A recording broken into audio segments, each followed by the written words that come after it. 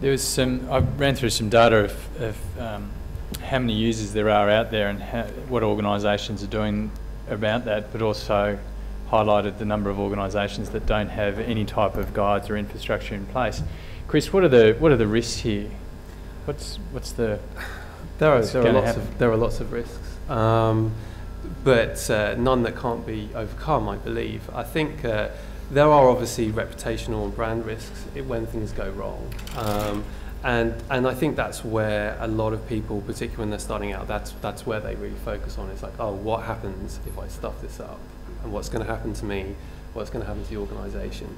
Um, I, I would say to that that, you know, policies provided by business can help to mitigate, help to get people orientated um, and, and understanding what, what those challenges are.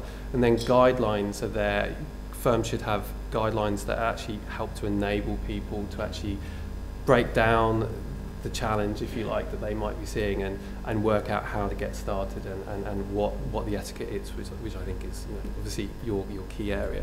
Um, there are there are risks around um, personal reputa- reputation, um, but as in all social environments, I think the, the biggest risk is often people don't see that social media is in fact a public forum. It can feel very isolated when you're sat there at your PC or on your mobile device. Um, and you don't realise a lot of the time what you say there is not is not a private discussion.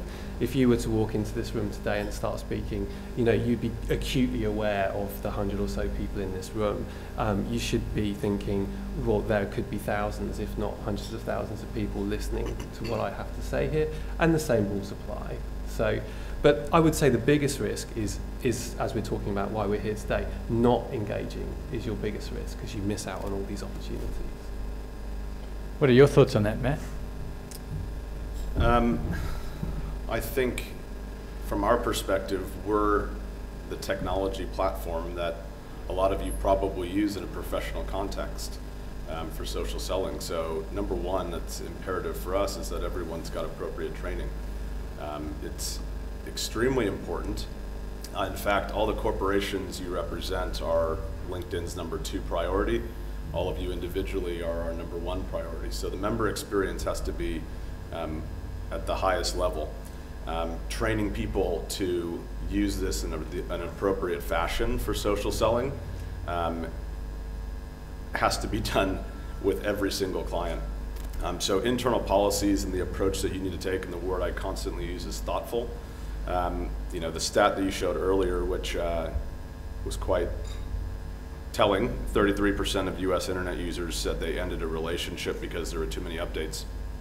Just because this is a new medium now, as opposed to mass emailing or cold calling, doesn't mean that you can't get just as annoyed by being bombarded by messaging on social media. So, you know, it's brand diminishing when you get sent the same templated mass email once every month from a corporation trying to sell to you, or when you get a cold call at 6 p.m. on your way home from one of the big banks trying to upgrade your account.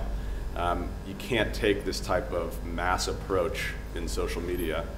You've got to be, you've got to have the right strategy in place. You've got to have the right education and training in place.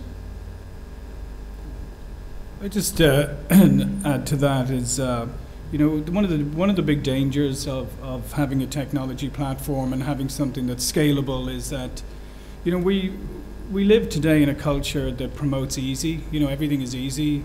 You know, there's an app for that. There's a quick way of doing that. You know, we, we get frustrated if something takes uh, longer than a couple of seconds. So we need to be very careful that, again, that this doesn't become a substitute for actually doing the hard work. And just for just uh, leveraging off um, what was just said there is that if you take a physical networking event, uh, if you came to this event and just walked up to people and started randomly telling them, you know, about something you read in the newspaper this morning that has absolutely no context, but you just said, oh, you know, did you see this morning in the newspaper, blah, blah, blah.